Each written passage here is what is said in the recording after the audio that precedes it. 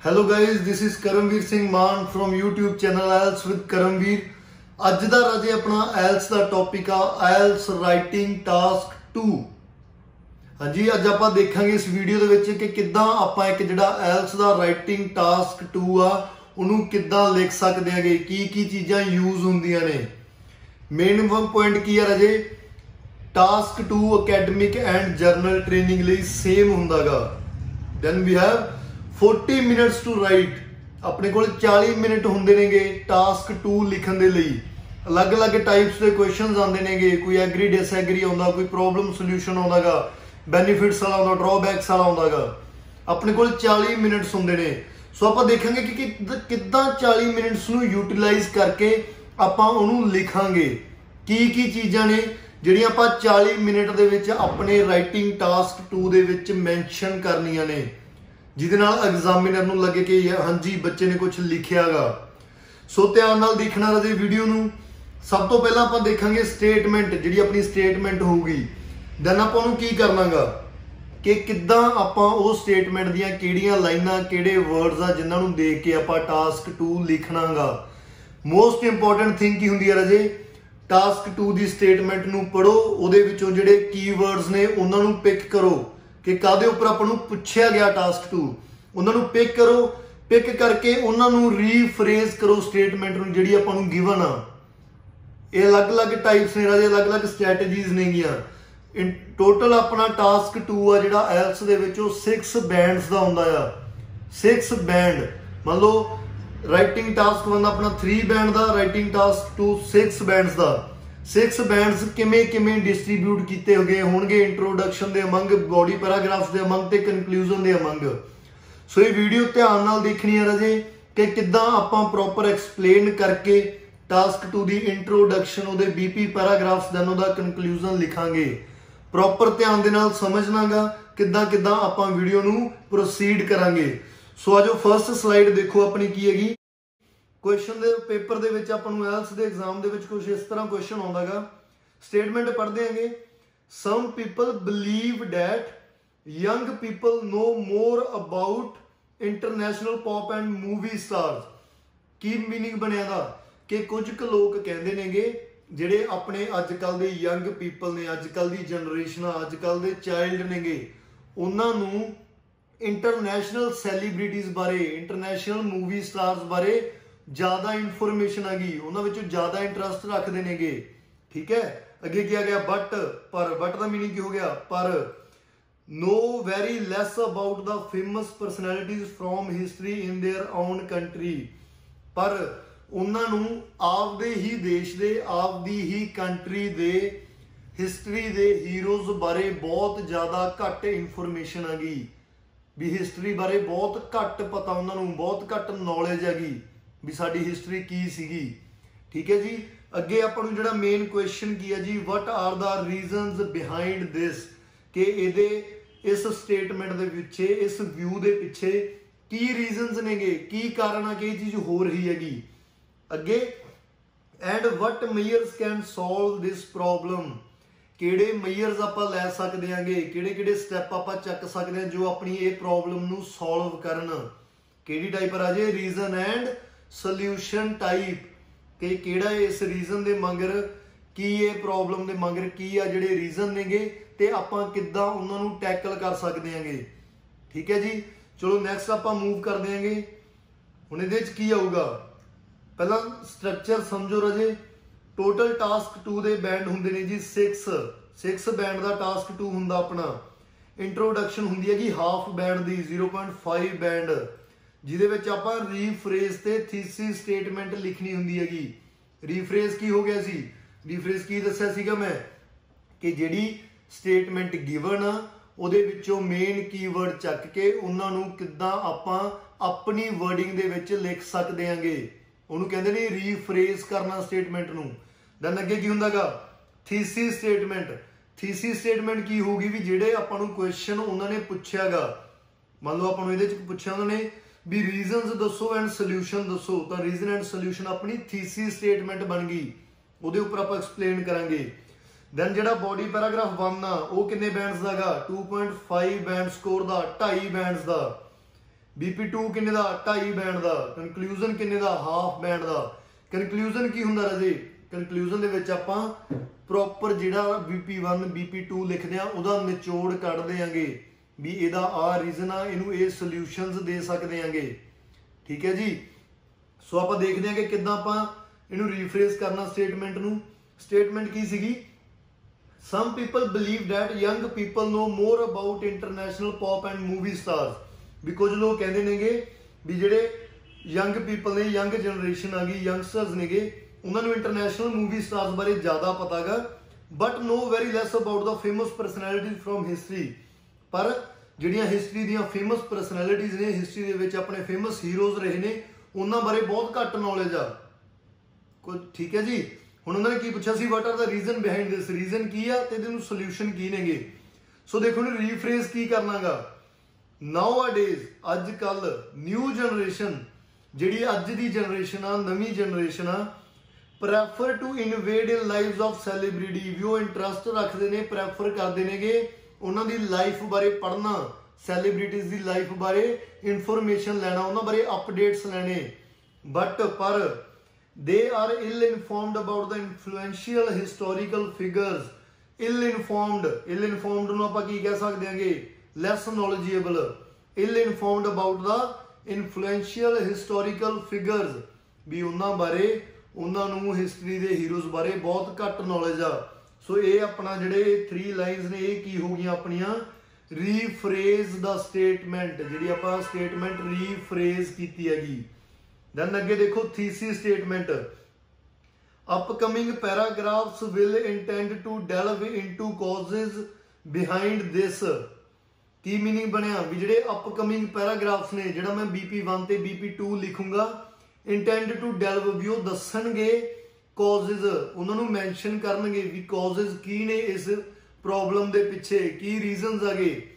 Along with along with the ਕੀ? ਨਾਲ ਹੀ ਸਮ ਰੈਮੇਡੀਅਲ actions ਰੈਮੇਡੀਅਲ actions Ki?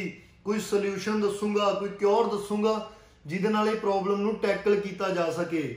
Before embarking embarking on any reasoned conclusion ਵੀ ਕਿਸੇ conclusion ਤੇ ਪਹੁੰਚਣ ਤੋਂ ਪਹਿਲਾਂ ਮੈਂ ਇਹਨੂੰ ਪ੍ਰੋਪਰ ਤੁਹਾਨੂੰ ਦੱਸੂਗਾ ਕਿ ਕੀ ਕੀ ਰੀਜ਼ਨ ਹੈ, ਕੀ ਉਹਦੀ ਸੋਲੂਸ਼ਨ ਹੋ ਸਕਦੇ ਹੈਗੇ।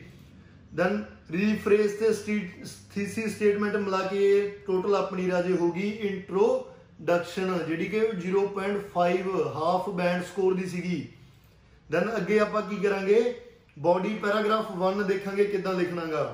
ਬਾਡੀ ਪੈਰਾਗ੍ਰਾਫ ਦੇ 1 ਵਿੱਚ ਆਪਾਂ ਕੀ ਲਿਖਾਂਗੇ? ਰੀਜ਼ਨਸ ਇਹਦੇ ਰੀਜ਼ਨ ਕਿ ਆਹ ਰੀਜ਼ਨ ਨੇਗੇ ਜਿਹਦੇ ਕਰਕੇ ਇਹ ਇਸ਼ੂ ਬ੍ਰਿੰਗ ਹੋ ਰਿਹਾ ਹੈਗਾ। ਸੋ ਦੇਖੋ ਨੂੰ ਕਿੱਦਾਂ ਲਿਖ ਸਕਦੇ ਹਾਂਗੇ to commence with to commence the meaning ਹੋ ਗਿਆ ਟੂ ਸਟਾਰਟ ਵਿਦ ਕਿ ਮੈਂ ਕਿੱਦਾਂ ਸਟਾਰਟ ਕਰ ਰਹਾਗਾ to commence with myriad reasons are there. Myriad reasons ਦਾ ਮੀਨਿੰਗ ਕੀ ਹੋ ਗਿਆ ਕਿ there are many reasons. Many reasons are there which bring for this issue ਜਿਹੜੇ ਕਿ ਇਹ ਇਸ਼ੂ ਦੇ ਲਈ ਇਕੱਠੇ ਹੋ ਰਹੇ ਨੇਗੇ ਬਹੁਤ ਸਾਰੇ ਰੀਜ਼ਨਸ ਨੇਗੇ ਠੀਕ ਹੈ ਜੀ ਟੂ ਸਟਾਰਟ ਵਿਦ ਕਿਦਾਂ ਆਪਾਂ ਸਟਾਰਟ ਕਰਿਆ? To commence with to commence with ਨੂੰ ਆਪਾਂ ਕੀ ਲਿਖ ਸਕਦੇ ਹਾਂ? ਟੂ ਸਟਾਰਟ ਵਿਦ ਕੀ ਆ ਗਿਆ? Myriad reasons are there which bring for this issue ਕਿ ਬਹੁਤ ਸਾਰੇ ਰੀਜ਼ਨਸ ਨੇ ਜਿਹੜੇ ਇਸ ਇਸ਼ੂ ਦੇ ਲਈ ਬ੍ਰਿੰਗ ਹੋ ਰਹੇ ਨੇਗੇ। First and the foremost is ਇਹ ਆਪਣਾ ਕਨੈਕਟਰ ਹੁੰਦਾਗਾ ਜੀ। First and the foremost is ਕਿ ਪਹਿਲਾ ਤੇ ਪਹਿਲਰ ਆਪਣਾ ਜਿਹੜਾ ਰੀਜ਼ਨ ਆ ਉਹ ਕੀ ਆ? First and the foremost is that generally youngsters youngsters ਨੂੰ ਆਪਾਂ ਕੀ ਕਹਿ ਸਕਦੇ ਆ ਅਡਲਟਸ ਤੇ ਯੂਥ ਕੀ ਕਰਦੇ ਆਗੇ generally youngsters feel bored on while studying history ਕਿ ਜਿਹੜੇ ਯੰਗਸਟਰਸ ਹੈ ਯੰਗ ਜਨਰੇਸ਼ਨ ਅੱਜ ਕੱਲ ਦੀ ਜਨਰੇਸ਼ਨ ਆ ਉਹ ਜਦੋਂ ਹਿਸਟਰੀ ਪੜ੍ਹਦੇ ਨੇਗੇ ਉਹ ਬੋਰਿੰਗ ਫੀਲ ਕਰਦੇ ਹੈਗੇ ਕਿ ਉਹਨਾਂ ਨੂੰ ਹਿਸਟਰੀ 'ਚ ਕੋਈ ਇੰਟਰਸਟ ਨਹੀਂ ਹੈਗਾ so their primary focus shift to only score good marks in other subjects ਤਾਂ ਜਿਹੜਾ ਉਹਨਾਂ ਦਾ ਪ੍ਰਾਇਮਰੀ ਰੀਜ਼ਨ ਹੁੰਦਾ ਪ੍ਰਾਇਮਰੀ ਫੋਕਸ ਹੁੰਦਾਗਾ ਮੇਨ ਫੋਕਸ ਉਹਨਾਂ ਦਾ ਕਾਹਦਾ ਹੋ ਜਾਂਦਾਗਾ? ਉਹ ਸ਼ਿਫਟ ਹੋ ਜਾਂਦਾ ਕਾਦੇ among to only good score good marks in other subjects ਵੀ ਦੂਜੇ ਸਬਜੈਕਟਸ ਦੇ ਵਿੱਚ ਉਹਨਾਂ ਨੇ ਗੁੱਡ ਸਕੋਰ ਕਰਨੇ ਨੇ ਹਿਸਟਰੀ ਦੇ ਵਿੱਚ ਉਹਨਾਂ ਦੇ ਘਟ ਜਾਣ ਡਸਨਟ ਮੈਟਰ ਕੋਈ ਮੈਟਰ ਨਹੀਂ ਕਰਦਾ। Rather than knowing it thoroughly ਵੀ ਉਹ ਸਿਰਫ ਪਾਸ ਹੋਣ ਦੀ ਕਰਦੇ ਨੇ, ਨਾ ਕਿ ਉਹਨੂੰ ਡੀਪ ਦੇ ਵਿੱਚ ਸਮਝਣ ਦੀ। ਉਹਨੂੰ ਡੈਪਥ ਦੇ ਵਿੱਚ ਨਹੀਂ ਸਮਝਣਾ ਚਾਹੁੰਦੇ ਜਸਟ ਪਾਸ ਹੋਣ ਦੀ ਟਰਾਈ ਕਰਦੇ ਨੇਗੇ। ਇਹਦੇ ਥੋਰਲੀ ਥੋਰਲੀ ਨੂੰ ਕੀ ਕਹਿ ਸਕਦੇ ਆ ਆਪਾਂ? In depth consummately closely in detail ਇਹ ਰਾਜੇ ਵੋਕੈਬ ਆ ਜਿਹੜੀ ਆਪਾਂ ਯੂਜ਼ ਕਰ ਸਕਦੇ ਆ ਇੱਕ ਰੀਜ਼ਨ ਆਪਾਂ ਮੈਂਸ਼ਨ ਕੀ ਕਰਤਾ? ਕੀ ਕਰਿਆਗਾ? ਕਿ ਹਿਸਟਰੀ ਬੋਰਿੰਗ ਲੱਗਦੀ ਹੈ। ਉਹ ਦੂਜੇ ਸਬਜੈਕਟਸ ਦੇ ਵਿੱਚ ਵਧੀਆ ਨੰਬਰ ਲਿਆਉਣ ਦੀ ਟਰਾਈ ਕਰਦੇ ਨੇ। ਹਿਸਟਰੀ ਚੋਂ ਕੱਲਾ ਪਾਸ ਹੋਣ ਦੀ ਟਰਾਈ ਕਰਦੇ ਨੇ। ਠੀਕ ਹੈ ਜੀ? ਉਹਨਾਂ ਨੂੰ ਬੋਰਿੰਗ ਲੱਗਦੀ ਹੈਗੀ।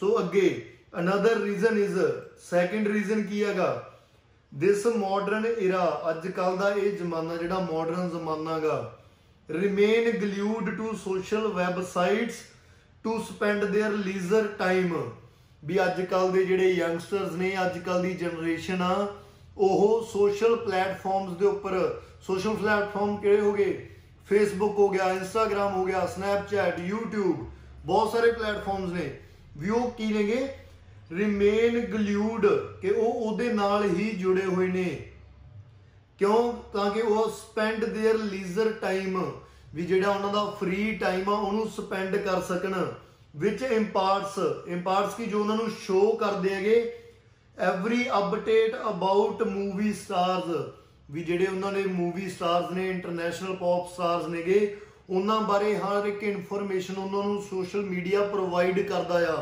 ਤਾਂ ਕਰਕੇ ਉਹ ਸੋਸ਼ਲ ਮੀਡੀਆ ਦੇ ਉੱਪਰ ਹੀ ਜੁੜੇ ਹੋਏ ਨੇ, ਉਹਦੇ ਨਾਲ ਹੀ ਚਿਪਕੇ ਹੋਏ ਨੇਗੇ। ਅੱਗੇ ਦੇਖੋ ਵੇਅਰ ਐਜ਼ ਜਦ ਕਿ ਸਟੱਡੀਇੰਗ ਅਬਾਊਟ ਹਿਸਟੋਰੀਕਲ ਪੀਪਲ ਕਿ ਜੇ ਉਹ ਹਿਸਟੋਰੀਕਲ ਪੀਪਲ ਬਾਰੇ ਸਟੱਡੀ ਕਰਨਗੇ, ਤਾਂ ਕੀ ਹੋਊਗਾ? ਰਿਕੁਆਇਰ ਸਮ ਐਕਸਟਰਾ ਐਂਡੇਵਰਸ ਵੀ ਹਿਸਟਰੀ ਪੜਨ ਦੇ ਲਈ ਉਹਨਾਂ ਨੂੰ ਕੁਝ ਐਕਸਟਰਾ ਐਫਰਟ ਕਰਨੇ ਪੈਣਗੇ ਐਕਸਟਰਾ ਐਫਰਟ ਲਾਉਣੇ ਪੈਣਗੇ। ਠੀਕ ਹੈ ਵਿਚ ਆਰ ਟਾਈਮ ਕੰਜ਼ਿਊਮਿੰਗ ਜੋ ਕਿ ਬਹੁਤ ਜ਼ਿਆਦਾ ਟਾਈਮ ਕੰਜ਼ਿਊਮਿੰਗ ਨੇਗੇ। ਕੀ ਰਾਜੇ, ਦੋ ਰੀਜ਼ਨ ਮੈਂਸ਼ਨ ਕੀਤੇ। ਦੂਜਾ ਰੀਜ਼ਨ ਕੀ ਹੈਗਾ ਕਿ ਉਹ ਸੋਸ਼ਲ ਮੀਡੀਆ ਪਲੇਟਫਾਰਮਸ ਦੇ ਉੱਪਰ ਜੁੜੇ ਹੋਏ ਨੇ। ਕਿੱਥੇ ਕਿ ਉਹਨਾਂ ਨੂੰ, ਉਹਨਾਂ ਦੇ ਫੇਵਰਿਟ ਮੂਵੀ ਸਟਾਰਸ ਬਾਰੇ ਹਰ ਇੱਕ ਇਨਫੋਰਮੇਸ਼ਨ ਹਰ ਇੱਕ ਅਪਡੇਟ ਮਿਲਦਾ ਆ। ਸੋ ਉਹ ਸੋਸ਼ਲ ਮੀਡੀਆ ਜੋ ਕਿ ਫੇਸਬੁੱਕ ਹੋ ਗਿਆ ਇੰਸਟਾਗ੍ਰam ਹੋ ਗਿਆ ਸਨੈਪਚੈਟ ਹੋ ਗਈ, ਉਹਦੇ ਉੱਪਰ ਹੀ ਜੁੜੇ ਹੋਏ ਨੇ, ਉਹਦੇ ਉੱਪਰ ਹੀ ਚਿਪਕੇ ਹੋਏ ਨੇ। ਸਿਰਫ ਉਹਨਾਂ ਨੂੰ ਫੋਲੋ ਕਰਨ ਦੇ ਲਈ, ਕਿਉਂਕਿ ਉਹ ਉਹਨਾਂ ਨੂੰ ਹਰ ਇੱਕ ਅਪਡੇਟ ਦਿੰਦੇ ਆਗੇ ਪਰ ਸਟੱਡੀing ਅਬਾਊਟ ਹਿਸਟਰੀ ਉਹ ਹਿਸਟਰੀ ਨਹੀਂ ਪੜ੍ਹਦੇ, ਕਿਉਂ ਨਹੀਂ ਪੜ੍ਹਦੇ? ਕਿਉਂਕਿ ਉਹਨਾਂ ਨੂੰ ਬੋਰਿੰਗ ਲੱਗਦੀ ਹੈਗੀ, ਹੋਰ ਕੀ ਹੋਊਗਾ? ਹਿਸਟਰੀ ਪੜਾਂਗੇ ਤਾਂ ਆਪਾਂ ਨੂੰ ਐਕਸਟਰਾ ਐਫਰਟ ਲਾਉਣੇ ਪੈਣਗੇ। ਐਕਸਟਰਾ ਐਫਰਟ ਕੀ? ਬੁੱਕਸ ਲੈਣੀਆਂ ਪੈਣਗੀਆਂ, ਲੰਬੇ ਲੰਬੇ ਚੈਪਟਰਸ ਪੜ੍ਹਨੇ ਪੈਣਗੇ। ਠੀਕ ਹੈ ਜੀ? ਉਹਦੇ ਕਰਕੇ ਉਹ ਉਹਨਾਂ ਨੂੰ ਫੋਲੋ ਕਰਦੇ ਹੈਗੇ, ਤਾਂ ਕਰਕੇ ਉਹਨਾਂ 'ਚ ਜ਼ਿਆਦਾ ਇੰਟਰਸਟ ਰੱਖਦੇ ਹੈਗੇ। ਠੀਕ ਹੈ ਜੀ? ਇਹ ਆਪਣਾ ਹੋ ਗਿਆ ਟੋਟਲ ਰਾਜੇ BP1 ਜਿਹਦੇ ਵਿੱਚ ਆਪਾਂ ਇਹਦੇ ਰੀਜ਼ਨਸ ਮੈਂਸ਼ਨ ਕੀਤੇ ਨੇਗੇ ਕਿ ਕੀ ਰੀਜ਼ਨਸ ਹੋ ਨੇਗੇ, ਜਿੰਨਾ ਕਰਕੇ ਇਹ ਪ੍ਰੋਬਲਮ ਆ ਜਿਹੜੀ ਉਹ ਕ੍ਰੀਏਟ ਹੋ ਰਹੀ ਹੈਗੀ। ਕੀ ਕੀ ਇਸ਼ੂਜ਼ ਨੇਗੇ, ਠੀਕ ਹੈ ਜੀ? ਹੁਣ ਨੈਕਸਟ ਆ ਜੇ BP2 ਦੇ ਵਿੱਚ ਆਪਾਂ ਲਿਖਾਂਗੇ ਇਹਦੇ ਸੋਲੂਸ਼ਨਸ ਧਿਆਨ ਰੱਖਣਾ ਰਾਜੇ, ਕਦੇ ਵੀ ਕੋਈ ਆਪਾਂ ਨੂੰ ਦੋ ਟਾਈਪ ਦਾ ਐਸੇ ਆਉਂਦਾ, ਉਹਦੇ ਪਹਿਲੀ ਟਾਈਪ ਦੇ ਵਿੱਚ ਮੰਨ ਲਓ ਐਡਵਾਂਟੇजेस ਡਿਸਐਡਵਾਂਟੇजेस ਐਸੇ ਆ, ਤਾਂ ਆਪਾਂ BP1 ਦੇ ਵਿੱਚ ਐਡਵਾਂਟੇजेस ਲਿਖਾਂਗੇ। BP2 ਦੇ ਵਿੱਚ ਡਿਸਐਡਵਾਂਟੇजेस ਲਿਖਾਂਗੇ। ਠੀਕ ਹੈ ਜੀ? ਸੋ ਉਸੇ ਤਰ੍ਹਾਂ ਇਸ ਦੇ ਵਿੱਚ ਆਪਾਂ ਕੀ ਕੀਤਾ? ਪਹਿਲੇ ਪੈਰਾ ਦੇ ਵਿੱਚ ਰੀਜ਼ਨਸ ਮੈਂਸ਼ਨ ਕੀਤੇ। ਦੂਸਰੇ ਦੇ ਵਿੱਚ ਆਪਾਂ ਕੀ ਲਿਖਾਂਗੇ? Measures so body paragraph 2 start ਕਿੱਥੋਂ ਕਰਾਂਗੇ ਹਾਊ ਐਵਰ ਗ੍ਰੈਪਲਿੰਗ ਗ੍ਰੈਪਲਿੰਗ ਦਾ ਮੀਨਿੰਗ ਹੁੰਦਾ ਜੀ ਸੋਲਵ ਕਰਨਾ ਟੈਕਲ ਕਰਨਾ ਕਿਉਰ ਕਰਨਾ ਕਿਸੇ ਪ੍ਰੋਬਲਮ ਨੂੰ।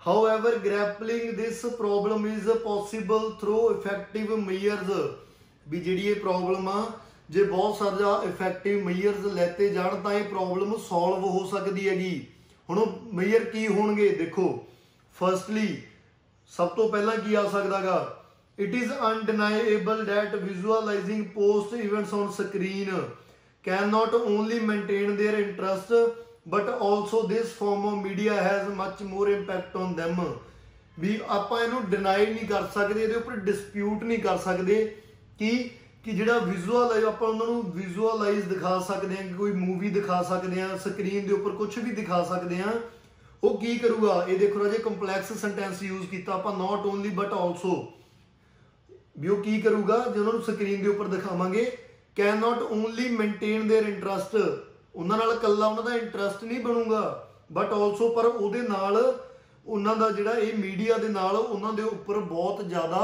ਇੰਪੈਕਟ ਪਊਗਾ ਜਦੋਂ ਹਿਸਟਰੀ ਬਾਰੇ ਪੜ੍ਹਨਗੇ। ਉਹਨਾਂ ਨੂੰ ਪਤਾ ਲੱਗੂਗਾ ਕਿ ਸਾਡੀ ਹਿਸਟਰੀ ਦੇ ਵਿੱਚ ਕੀ ਕੀ ਹੋਇਆ ਆ। ਉਹ ਪ੍ਰੋਪਰ ਨੌਲੇਜ ਮਿਲੂਗੀ ਉਹਨਾਂ ਨੂੰ। ਠੀਕ ਹੈ ਜੀ? Hence movies and television show related to historical events and individuals should be made and shown to young ones. ਤਾਂ ਆਪਾਂ ਨੂੰ ਕੀ ਕਰਨਾ ਚਾਹੀਦਾ ਆ? ਹਿਸਟਰੀ ਦੇ ਉੱਪਰ ਮੂਵੀਜ਼ ਬਣਾਉਣੀਆਂ ਚਾਹੀਦੀਆਂ ਨੇ। ਫੇਮਸ ਪਰਸਨੈਲਿਟੀ ਸੀਗੀਆਂ ਜਿਹੜੀਆਂ ਆਪਣੀਆਂ ਹਿਸਟਰੀ ਦੇ ਵਿੱਚ ਫੇਮਸ ਲੋਕ ਸੀਗੇ। ਉਹਨਾਂ ਦੇ ਉੱਪਰ ਹਿਸਟਰੀਜ਼ ਦੇ ਉੱਪਰ ਮੂਵੀਆਂ ਬਣਨੀਆਂ ਚਾਹੀਦੀਆਂ ਨੇ ਵੀਡੀਓਜ਼ ਬਣਨੀਆਂ ਚਾਹੀਦੀਆਂ ਨੇ ਇਵੈਂਟਸ ਆਰਗੇਨਾਈਜ਼ ਹੋਣੇ ਚਾਹੀਦੇ ਆ। ਤਾਂ ਜੋ ਆਪਾਂ ਯੰਗ ਵਨਸ ਜਿਹੜੀ ਆਪਣੀ ਜਨਰੇਸ਼ਨ ਆਪਣੇ ਚਾਈਲਡ ਨੇ, ਆਪਣੇ ਲਰਨਰਸ ਨੇ, ਉਹਨਾਂ ਨੂੰ ਉਹ ਸ਼ੋਅ ਕਰ ਸਕੀਏ, ਜਿਹਦੇ ਕਰਕੇ ਉਹਨਾਂ ਦਾ ਇੰਟਰਸਟ ਬਿਲਡ ਅਪ ਹੋਵੇ। ਇਹ ਸੀਗਾ ਆਪਣਾ first major secondly second major ਕੀ ਆਊਗਾ ਜੀ?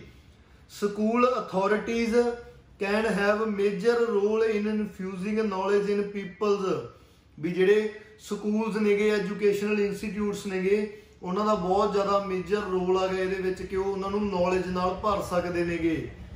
ਇਨ ਦਾ ਸੈਂਸ ਜਿਵੇਂ ਕਿ they can take them on trip to educational places ਵੀ ਉਹ ਉਹਨਾਂ ਨੂੰ ਐਜੂਕੇਸ਼ਨਲ ਪਲੇਸਿਸ ਦੇ ਉੱਪਰ, ਸਿੱਖਿਆ ਭਰੀਆਂ ਚੀਜ਼ਾਂ ਦੇ ਉੱਪਰ ਜਗਾਵਾਂ ਦੇ ਉੱਪਰ ਹਿਸਟਰੀ ਆਪਣੇ ਜਿਹੜੇ ਜਗ੍ਹਾ ਸੀਗੀਆਂ, ਕੋਈ ਜਿੱਥੇ ਆਪਣੀਆਂ ਲੜਾਈਆਂ ਹੋਈਆਂ ਜਾਂ ਜਿੱਥੇ ਕੁਝ ਆਪਣਾ ਸਪੈਸ਼ਲ ਹੋਇਆ ਹਿਸਟਰੀ ਦੇ ਵਿੱਚ। ਉੱਥੇ ਉਹਨਾਂ ਨੂੰ ਟ੍ਰਿਪਸ ਦੇ ਉੱਪਰ ਲਿਜਾ ਸਕਦੇ ਹੈਗੇ। ਠੀਕ ਹੈ ਜੀ? And should organise competitions or celebrate historical days ਵੀ ਉਹ ਕੰਪੀਟੀਸ਼ਨ ਕਰਾ ਸਕਦੇ ਨੇਗੇ ਹਿਸਟੋਰੀਕਲ ਇਵੈਂਟਸ ਦੇ ਉੱਪਰ। ਤੇ ਹੋਰ ਕੀ ਕਰ ਸਕਦੇ ਨੇਗੇ? ਇਵੈਂਟਸ ਆਰਗੇਨਾਈਜ਼ ਕਰ ਸਕਦੇ ਨੇ ਜਿੱਥੇ ਉਹਨਾਂ ਨੂੰ ਵਿਜ਼ੂਅਲਾਈਜ਼ ਕੀਤਾ ਜਾਵੇ ਕਾਸਟ ਕੀਤਾ ਜਾਵੇ ਤੇ ਉਹਨਾਂ ਨੂੰ ਆਪਦੀ ਹਿਸਟਰੀ ਬਾਰੇ ਨੌਲੇਜ ਮਿਲ ਸਕੇ। ਠੀਕ ਹੈ ਜੀ? ਮੋਰ ਓਵਰ ਇੱਕ ਇਹ ਕਨੈਕਟਰ ਐਡ ਕੀਤਾ ਆਪਾਂ। Moreover teachers are supposed to use visualisation tools to create interest in history among learners ਵੀ ਜਿਹੜੇ ਟੀਚਰ ਨੇ, ਅਧਿਆਪਕ ਨੇਗੇ, ਉਹ ਦਿਖਾ ਸਕਦੇ ਨੇ ਵਿਜ਼ੂਅਲਾਈਜੇਸ਼ਨ ਟੂਲਸ ਯੂਜ਼ ਕਰ ਸਕਦੇ ਨੇ। ਜਿਵੇਂ ਸਕਰੀਨਸ ਹੋ ਗਿਆ ਐਲਈਡੀਜ਼ ਹੋ ਗਈਆਂ। ਉਹਨਾਂ ਨੂੰ ਯੂਜ਼ ਕਰਕੇ ਉਹਨਾਂ ਨੂੰ ਉੱਥੇ ਇਵੈਂਟਸ ਦਿਖਾ ਸਕਦੇ ਨੇ ਵੀਡੀਓਜ਼ ਦਿਖਾ ਸਕਦੇ ਨੇ, ਜਿਹੜੀਆਂ ਕਿ ਉਹਨਾਂ ਦੇ ਉੱਪਰ ਇੰਪੈਕਟ ਪਾਉਣ, ਉਹਨਾਂ ਨੂੰ ਮੈਮੋਰੇਬਲ ਬਣ ਜਿਹਦੇ ਨਾਲ ਉਹ ਹਿਸਟਰੀ ਨੂੰ ਯਾਦ ਕਰ ਸਕਣ। ਸੋ ਇਹ ਦੋ ਆਪਣੇ ਸੋਲੂਸ਼ਨ ਸੀਗੇ ਰਾਜੇ, ਜਿਹੜੇ ਆਪਾਂ BP2 ਦੇ ਵਿੱਚ ਮੈਂਸ਼ਨ ਕੀਤੇ ਹੈਗੇ। ਪਹਿਲਾ ਕੀ ਸੀਗਾ?